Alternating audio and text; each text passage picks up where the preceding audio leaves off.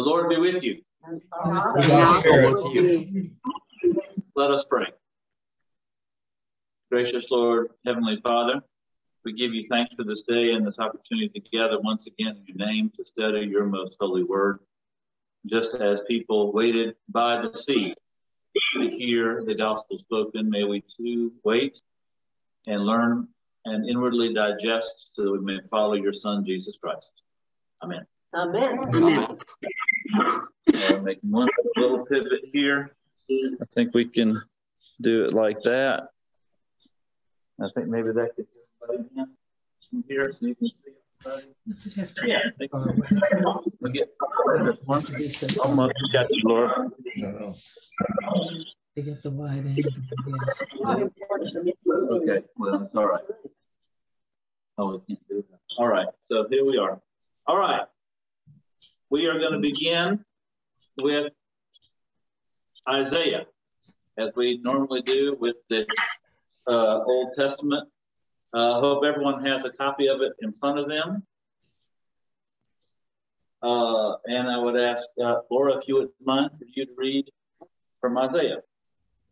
Okay, tell me if you can hear me. I'm going to try to increase the volume here. Can they hear me? Can y'all hear Laura? Yes. Okay. Okay. A reading from the book of Isaiah. In the year that King Uzziah died, I saw the Lord sitting on a throne, high and lofty, and the hem of his robe filled the temple. Seraphs were in attendance above him. Each had six wings. With two they covered their faces, and with two they covered their feet, and with two they flew. And one called to another and said, Holy, holy, holy is the Lord of hosts. The whole earth is full of his glory. The pivots on the threshold shook at the voices of those who called, and the house filled with smoke. And I said, Woe is me! I am lost, for I am a man of unclean lips, and I live among a people of unclean lips. Yet my eyes have seen the King, the Lord of hosts. Then one of the seraphs flew to me, holding a live coal that had been taken from the altar with a pair of tongs. The seraph touched my mouth with it and said, Now that this has touched your lips, your guilt has departed and your sin is blotted out. Then I heard the voice of the Lord saying, Whom shall I send? And who will go for us? And I said, Here I am. Send me. The word of the Lord. Thanks be to God. Be to God. So, in our lectionary cycle and with Epiphany, this is uh, going along with a call that people are being called to follow Jesus. When we get to the gospel, it is disciples who are being called from the shore to follow. And in the Hebrew scriptures, it is like last week with the call of Jeremiah. This is the call of Isaiah, who talks about, as we talked about this last week a little bit, this coal that is taken from the fire and placed on his lips because he finds himself to be a man of unclean lips, living among a, a people of unclean harkens a little bit to the message of James that you might remember, where he talks about the tongue and how bad the tongue can be.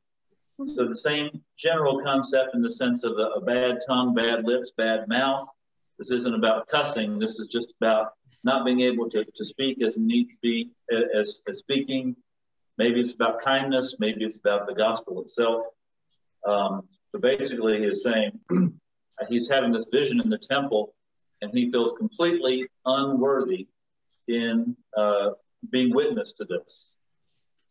It is a fearful thing to fall into the hands of an angry God, and he is, is bowing down because anyone who sees the Lord is fearful, almost as if God were Medusa and you were going to get turned to stone the second you looked at Medusa. Um, but this humility uh, is, is answered by the angel, the seraph, who flies over and takes that coal and puts it on And then it said, Now this has touched your lips, your guilt has departed, and your sin is blotted out. And then I heard the verse, voice of the Lord saying, Whom shall I send? Who will go for us? And I said, Here am I, send me. So even with burnt lips, he could say the right words, mm-hmm. um, and then that's a good thing that he was now he was now ready and appreciative and thankful uh, of being called, but also thankful of being commissioned. This is not a sedentary kind of response to God. It is a response that has to do with being sent, being active, going out into the world, uh, and that's a very important part of the What else do you see in it, or what other questions do you have from it?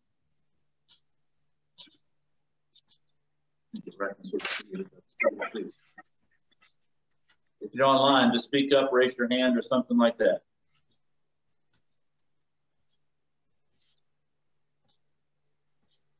Yes, Bill. I think um, this uh, introdu introduction uh, highlights the importance of touch in our relationships and in our worship. Thank you.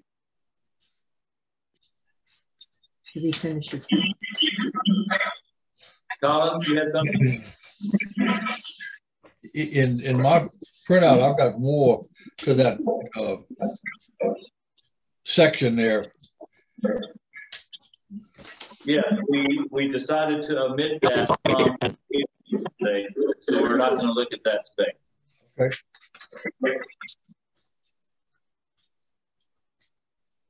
Collins, you're sort of coming in and out. You're frozen. Are you are you with us? I didn't hear. All right. Well, when Collins comes back, we'll give him a chance to ask. Anybody else have a question? Good Broken. Well, as you certainly remember, Isaiah is one of the three major prophets from the Hebrew scriptures and he is being sent to talk to people who indeed are a people of unclean lips. And this is very important that is you have a sense of where he is, and he did just appear out of nowhere. That there is some kind of commissioning that comes with him. Um, and we'll get to that in Paul in particular because his credentials are being questioned somehow. We don't know exactly how by the moving the table. So part of what today happening here is that um, his, his credentials are being established in the beginning of this. That this is clearly something God has done, and He is relaying. Um, much like credentials, there weren't many witnesses to all that happened. If there was a witness at all besides heavenly hope, so it might make it harder to establish one's credentials unless you were able to, to tell this story with some sense of just really affirming all that that's happened. Laura? Is it significant that it's in the year that King Uzziah died? Um, I don't think spiritually it's very significant. Okay. That's just the way dates. There wasn't a obviously a BC or an AD at that point, and not years like even in the uh, Chinese calendar, the their years, they marked it by moments in time.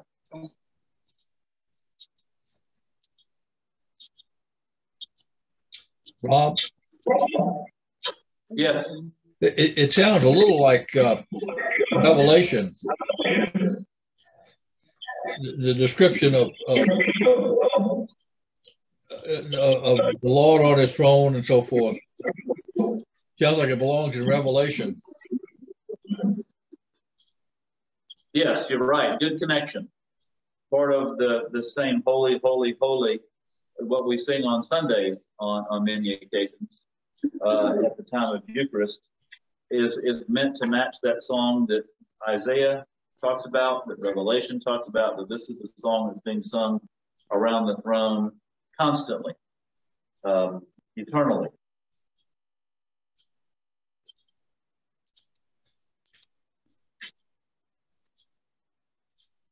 And the same way, angels and seraphs doing the bidding of God. It was angels who cracked the scrolls and things like that in, in Revelation. So we, we're getting a peek into to heaven, um, which is what happens here, where he's in the temple in Jerusalem.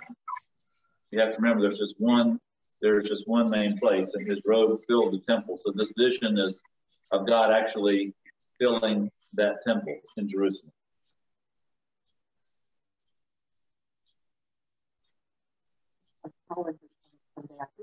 Good. All right, Collins, we can see you again. You look like you're muted, but we love your question if you or comment if you got to make one. Unmute yourself.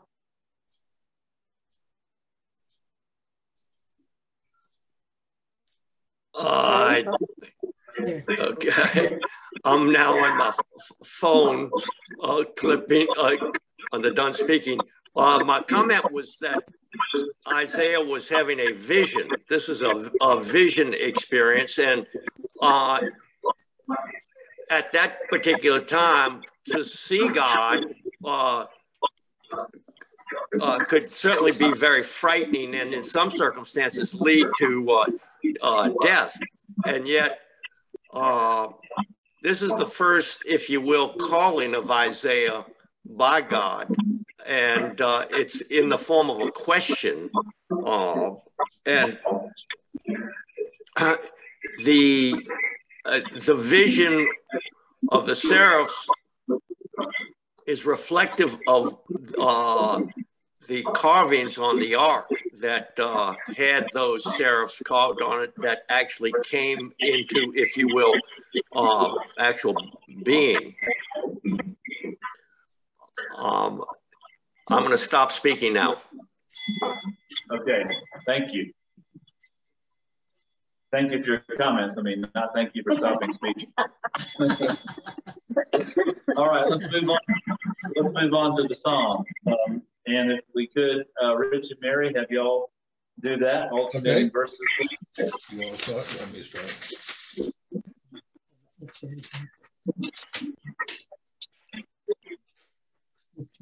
Okay.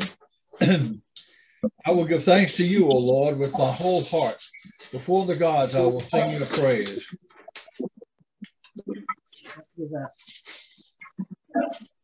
I will bow down toward your holy temple and praise your name because of your love and faithfulness. You have glorified your name and your word above all things. When I called, you answered me. You increased my strength within me.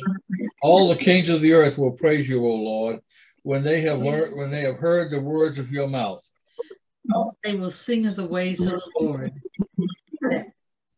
Great is the glory of the Lord. Though the Lord be high, he cares for the lowly. He perceives the haughty from afar. Though I walk in the midst of trouble, you keep me safe. You stretch forth your hand against the fury of my enemies. Your right hand shall save me. The Lord will make good his purpose for me. O Lord, oh, your love endures forever. Do not abandon the work, do not abandon the works of your hands.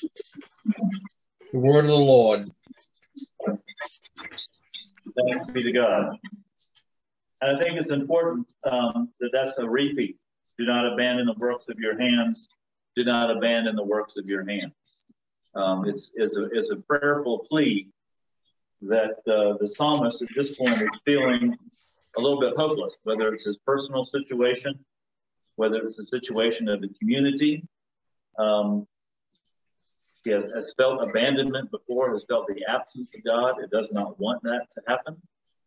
Uh, and, you know, this is one of those things when we are feeling down or a little less hope.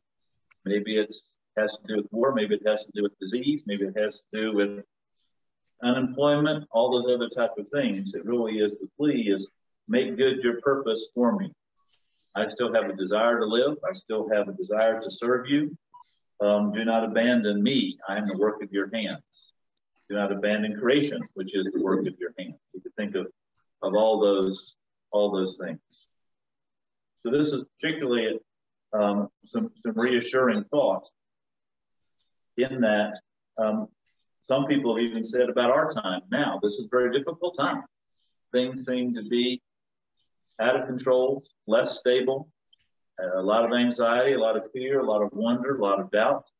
And it makes sense for us to pray, do not abandon the works of your hands.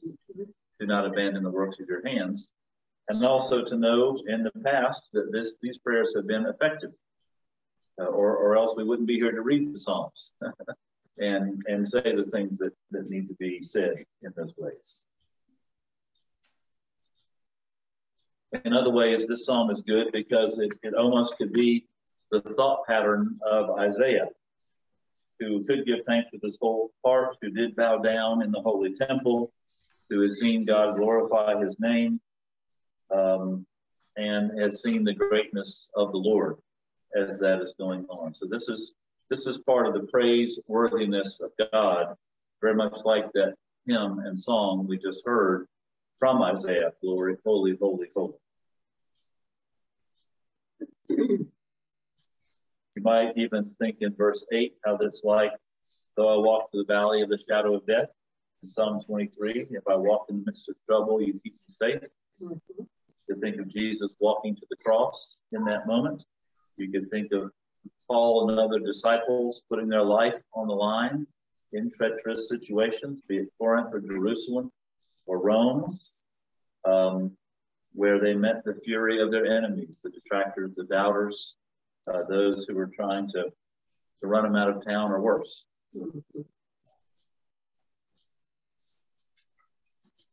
What else do you hear and see in this passage? Yes, Laura. I'm curious why in verse one God's is plural. What what is the psalmist referring to? Yes, So the question is um, in verse one, uh, before the gods, I will sing your praise. Why is God's plural? There are numerous plural references to gods um, in the Old Testament uh, from Genesis, let us make them in our image, when he's talking about creation in those ways.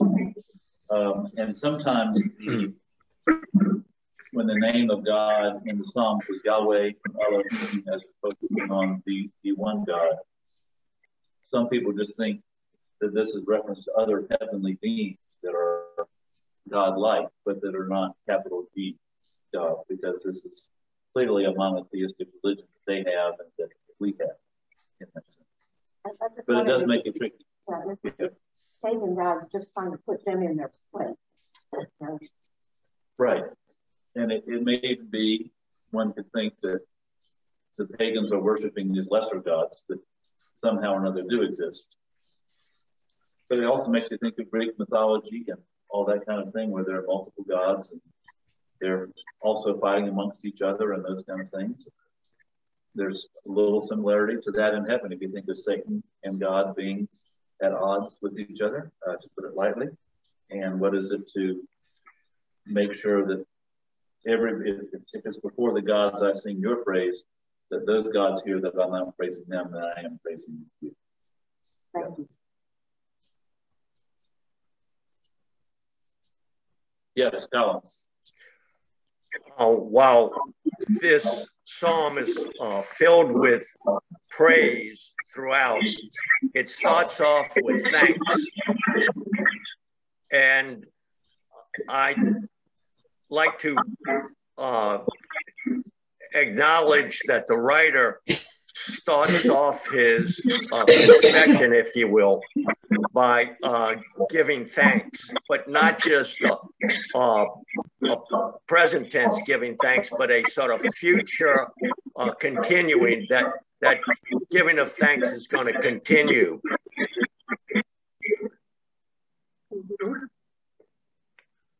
And uh, that's great. Very true. Rob, when Collins was talking, you got a lot of background noise coming coming from your uh, pod. From, from, your yeah, from your pod or whatever they call it. Uh, I, I, don't know why, but there's a lot of background noise coming in on that on that square. I don't either. Okay, it's quiet now. There it is. Yep. I can hear I can hear somebody mumbling.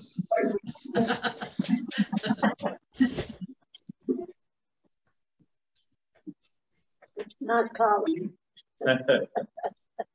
well, I'm glad you bring up the word confession, Collins, because as we turn to Corinthians, which we can do now, um, this is um, very much like Paul's confession of faith.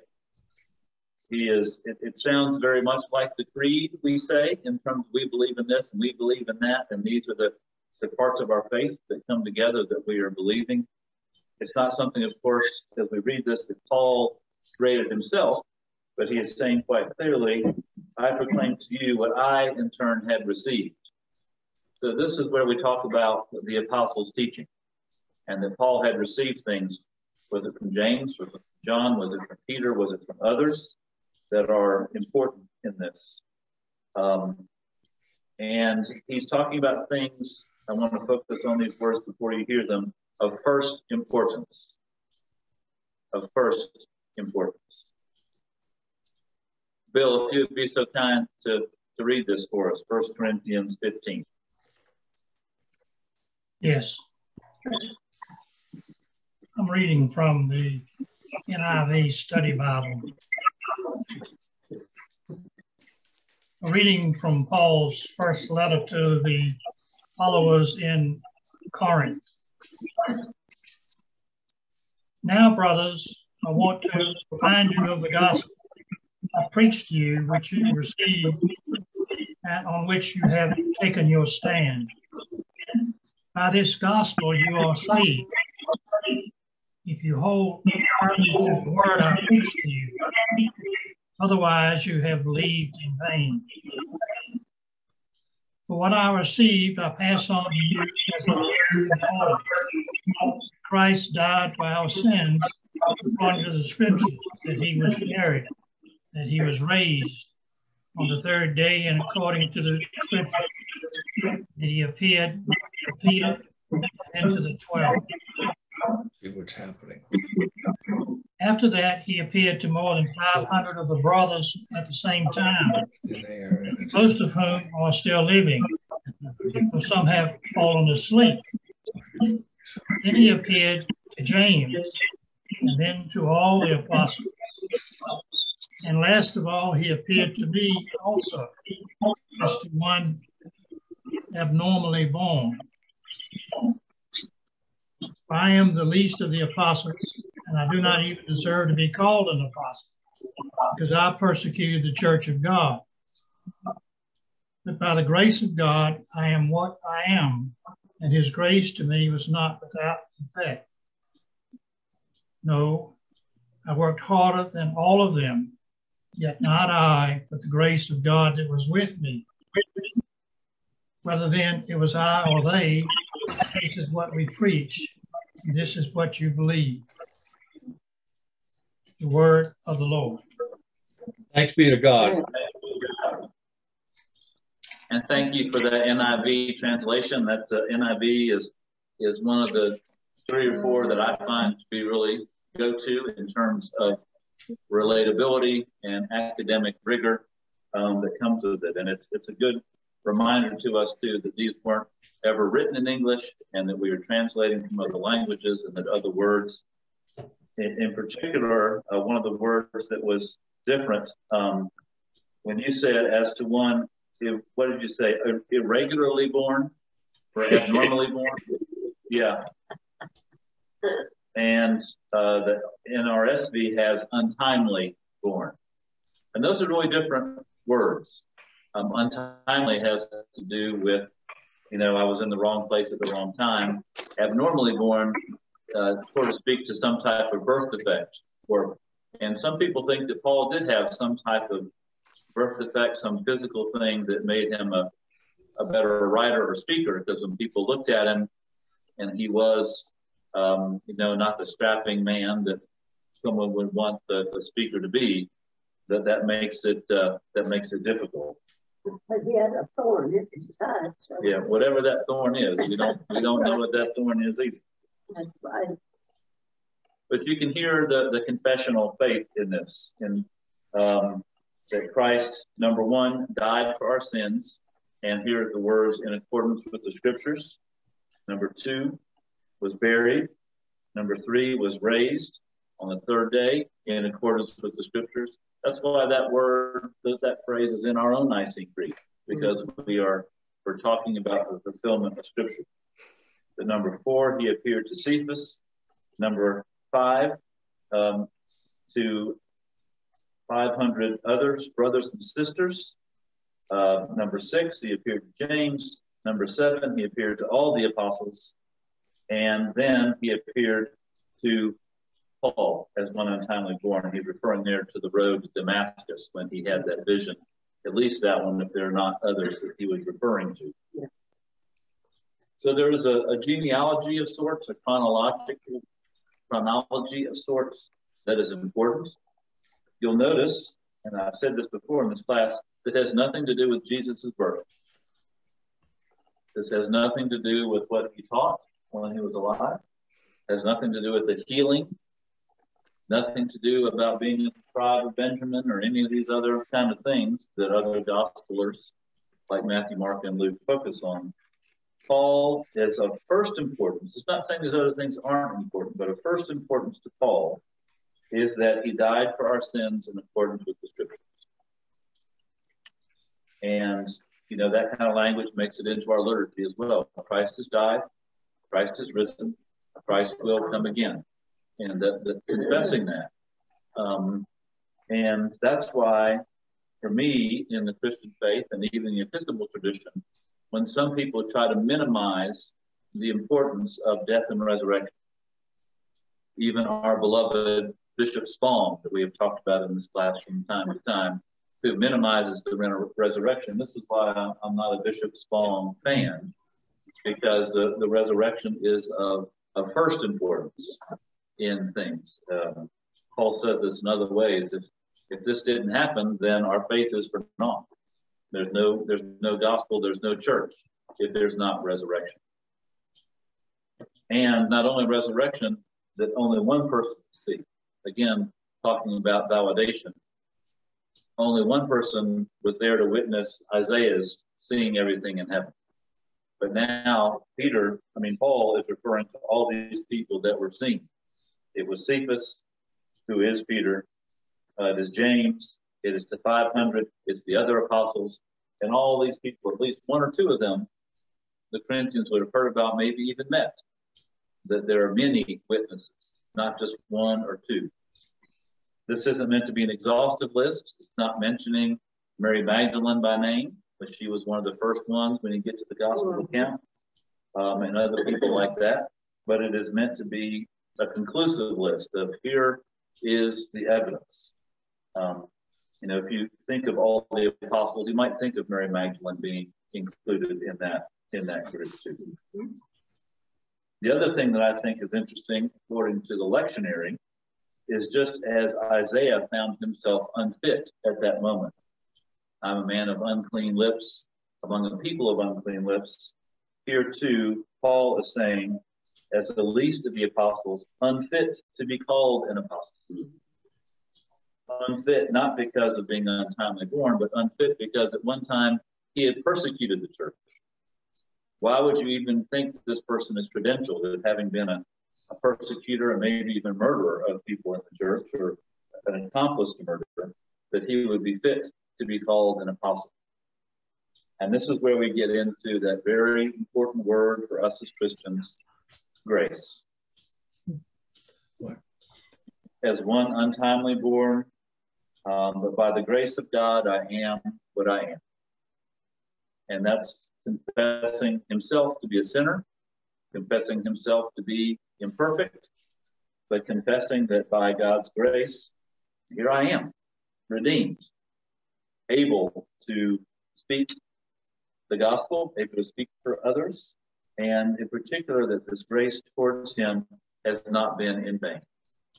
In other words, wasted. He poured out all this grace on you. And what'd you do? Well, I just went home and sat and read the newspaper and I mowed the lawn, and that's that's all I did. I did. I had the grace now. I didn't need to go do anything else. And the point is, no, he has taken that and as part of his redemption, acted, actions, gone out into all the world. And that's what he's referring to. I worked harder than any of them. He's pretty good at boasting, isn't he? Yeah. Um, but in terms of all his travels, he certainly did work hard. He certainly was up against a lot of persecution, a lot of fear, being jailed, stoned, beaten, almost killed. And then to soften it, to be humble, though it was not I, but the grace of God that is within. And so when we think about Christ being in us and working in us and through us, um, we always have to be careful as Christians not to take credit for something that is not us. And so this is, yes, and this is the grace of God working in us. Uh, part of that blessing that I often say after morning prayer, that's right there in the prayer book, glory to God, his power working in us can do infinitely more than we can ask or imagine. And that is part of the power of grace. So then, whether it was I or they, so we proclaim, and so you have come to believe. Uh, this really makes me think of the song Amazing Grace. Grace has brought me this far, and grace will lead me home. That it is about grace um, that we really all depend. Isaiah is depending upon it. Paul's depending upon it. The psalmist is depending upon it. Not really using that word. And when you when you get to it here in a minute, um, Peter and James and John also are shown grace, and that continues. So again, when we one last thing before I open it up for your questions or comments. Um, as one untimely born, it, it does make scholars think, and it makes me wonder then, was something about Paul's leadership being questioned in the Corinthian church. You might remember in the first part of this letter, some were saying, Well, I was baptized by Apollos, or I was baptized by, and there's this whole thing of some type of seniority that people are claiming, and that someone else's gospel, their preaching was better, and all those other kind of things. And so some people feel more connected that way, or thinking that Paul was less credentialed. So he's somewhat standing up for his credentials, just like Isaiah. I mean, yes, just like Isaiah had to, um, but he is also making his confession, not a confession of sin only, but a confession of faith.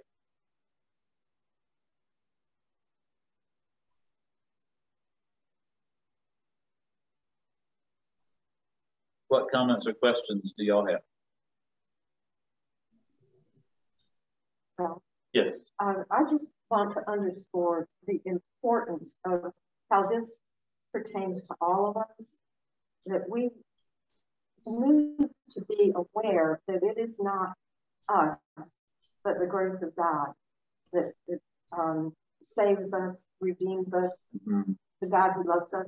Uh, and we need to be humble and recognize that we are very unfit, mm-hmm. but grace has come through for us.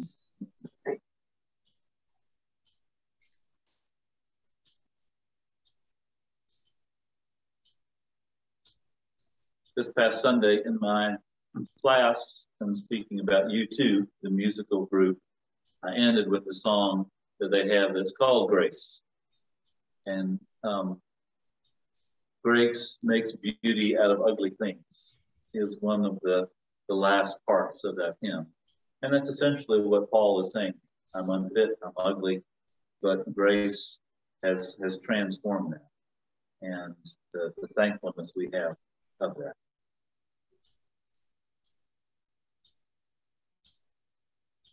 Any other questions? Any other Rob, Rob, could you repeat that again? Grace makes beauty out of ugly things. Woo! well, I've got, I need that grace. right. That's, right. that's yeah. That's, uh, Physical, that's but I know. Yeah, the U2 song. That's right. Yes, I think it's talking more about ugly parts types of personality and traits and things, but yes, right. I know. oh, well, maybe it'll work by the other way too. All right, well, let's move on to the gospel then. Uh, again, we are in the, the, Gospel of Luke for most of year C, which which this is, um, and we are at this point where we talked about uh, last week the sense of concentric circles. Jesus has landed in the pond called Earth and humanity, and circle after circle after circle, the, he is getting the message out. Um, and the message now is in Galilee. Uh, the lake of Gennesaret is also known as the Sea of Galilee. It just depends on the, sometimes the author, uh, sometimes the time. Um, but to distinguish between bodies of water, it's sort of like, you know, this lake is certainly smaller than Lake Superior or Lake Huron or one of the, the Great Lakes that we have. Um, it is not a sea in the sense that it is um, not salty like the Dead Sea, which is completely salty, um, or the Mediterranean Sea. So I think they are distinguishing between between those. So this is in the northern part, um, in, the, in the Galilean part, not too far from Nazareth, not too far from Capernaum, um, where so much of his ministry happened. Uh, but it's also clear here that he is calling these fishermen and in the end asking them to, um, to be those who net people or who catch people in, in what they're what they're doing. So I'll read here from Luke 5. Once while Jesus was standing beside the lake of Gennesaret, and the crowd was pressing in on him to hear the word of God. He saw two boats there at the shore of the lake, and the fishermen had gone out of them and were washing their nets. He got into one of the boats, the one belonging to Simon, and asked him to put out a little way from the shore. And then he sat down and taught the crowds from the boat. Let me pause there and just to say, scholars say that the sitting posture is the posture of a teacher. He is not sitting for some sense of balance or whatever in the boat. But teachers in, in this time, rabbis would, would sit down to teach. So there is something in that body language. When he had finished speaking, we don't know how long he spoke or what he said, unfortunately, at this point. But when he finished speaking, he said to Simon, put out into the deep water and let down your nets for a catch. Simon answered, Master, um, as a sort of one who stands over. So there's already a sense of seniority that is here. We have worked all night long, which makes me think this is in the early morning hours. If you're a, a duck hunter or a fisherman or something like that, sometimes when you go out is from three to six, and then you're done. You come in and there's light. Um, and I would think the daylight is one of the things that made the crowds come back out what was happening. And they saw the, the fishermen there cleaning their nets, mending their nets from a night of um, no luck. We've worked all night long, but have caught nothing. So there's first a little bit of a pushback. And then a turnaround, yet, if you say so, I will let down the nets. When they, he had done this, they caught so many fish that their nets were beginning to break. So they signaled their partners in the other boat to come and help them. And they came and they filled both boats so that they began to sink. When Simon Peter saw it, he fell down at Jesus' knees, saying, Go away from me, Lord, for I'm a sinful man. So here in terms of the lectionary is the third direct account of somebody feeling unfit, getting down on his knees like Isaiah did in the temple, bowing down. Or Paul saying the same type of thing, I am unfit. Go away from me, Lord. I don't want to die. I don't see you and die. For he and all who were with him were amazed, you might say in awe, at the catch of fish that they had taken. But this wasn't an ordinary kind of catch, once in a lifetime catch, you might even say. And so also were James and John, the sons of Zebedee, who were partners with Simon. So those who are business partners are about to become partners in the gospel. Then Jesus said to Simon, Do not be afraid. From now on, you'll be catching people. So just like Isaiah was sort of asked, Who will go? Um, these don't necessarily ask, but they are told, You will go. You will go and catch people. And when they had brought their boats ashore, then they left everything and followed him. So there's an immediacy in this response to the call of sending out, leaving everything.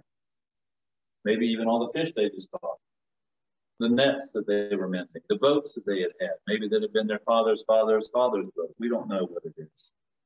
But they left everything to follow him. That's one of the, the marks of these, these kind of calls that people who are responding to the gospel, whether it's Paul doing it preaching it or Peter and others preaching it, there's immediacy of leaving everything to follow.